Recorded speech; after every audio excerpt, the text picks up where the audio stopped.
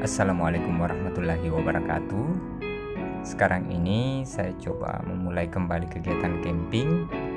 Jadi saya kembali sedikit demi sedikit melengkapi aparel camping saya karena saat kejadian kecelakaan saya beberapa waktu lalu beberapa aparel saya terpaksa harus rusak tas saya tali webbingnya putus sepatu saya sobek dan seluruh pakaian saya yang saya pakai terpaksa digunting untuk dilepas dari badan saya dan ada beberapa peralatan saya yang tercecer entah ke mana seperti senter dan trekking pole senter saat ini saya pakai Nightcore NU17 sepatu saya mencoba pakai Yusa Evo seri terbaru dan baru-baru ini saya juga memesan beberapa item dari Norge Pro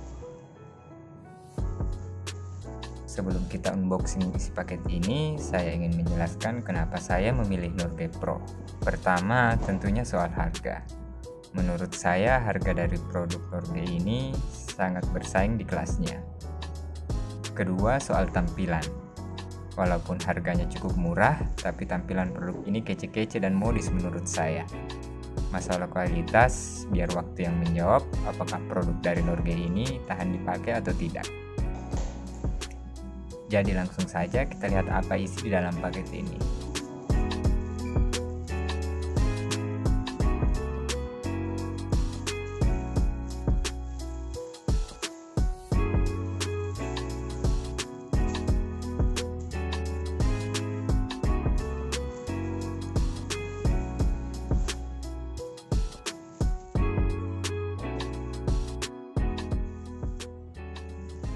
Pertama ada Norge Mojave Ultralight Backpack kapasitas 25 liter, beratnya kurang lebih 381 gram, bahan utamanya nilon PU coating dan bahan pocketnya Despo.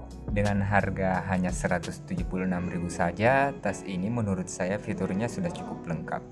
Apalagi dikatakan bahannya ini waterproof dengan tambahan lapisan kain layering di dalam tas ini. Fitur ini baru saya temukan di tas buatan lokal. Dan yang paling penting, tas ini terlihat keren kombinasi potongan dan warnanya.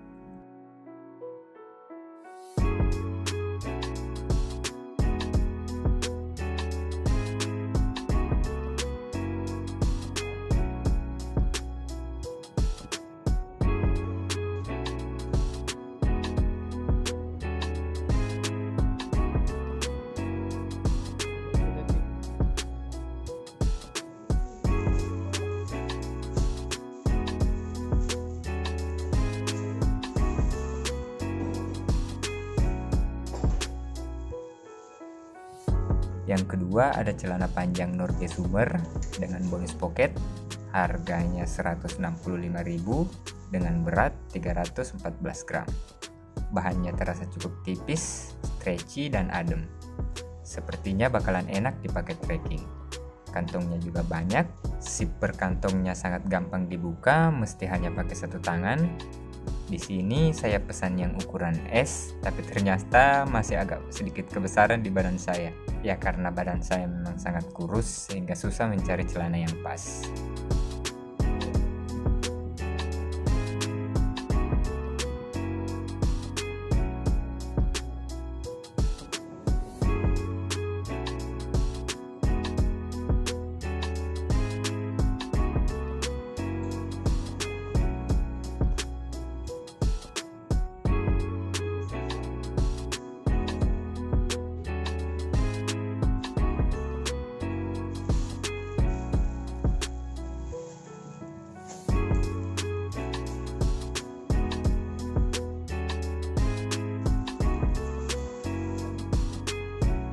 Selanjutnya ada Norge Flyweight Jacket.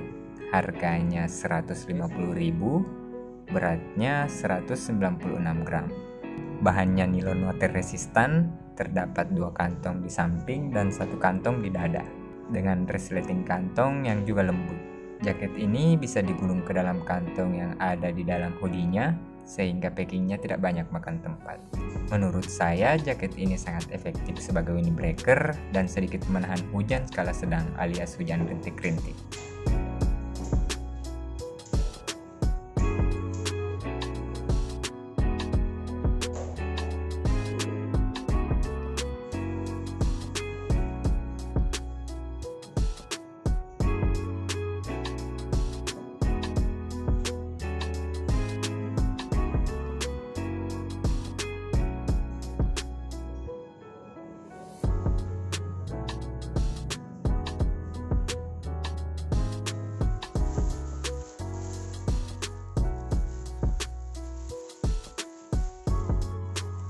Dan yang terakhir ada Norge Lithium Pyramid 10 kapasitas satu orang.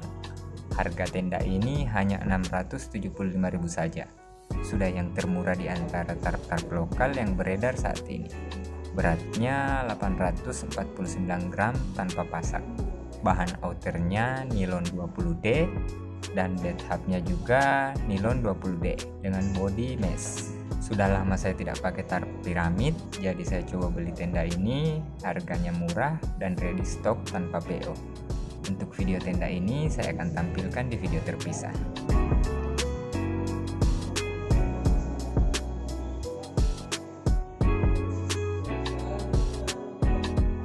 Saya kira isi kantong paket ini telah habis. Ternyata Norge memberi bonus kupluk thermal balak lava dari Yamitala bahan luarnya fleece dan bagian dalamnya thermal. Terima kasih untuk Norge yang telah memberi bonus ini kepada saya. Sedikit info tentang Norge. Norge Pro ini merupakan salah satu brand yang juga naungan dari brand Yamitala. Itu juga yang menjadi alasan saya untuk membeli produk mereka. Karena Yamitala menurut saya sudah cukup lama dan berpengalaman dalam membuat aparel pendakian. Bagi teman-teman yang berminat dengan produk dari Norge atau Yamitala ini, link pembeliannya sudah saya sematkan di deskripsi video di bawah. Silahkan dibeli mumpung lagi banyak diskon.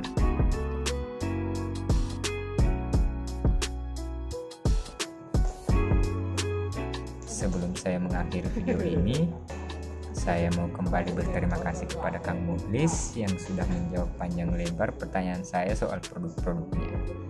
Sekian dari saya untuk saat ini. Wassalamualaikum warahmatullahi wabarakatuh.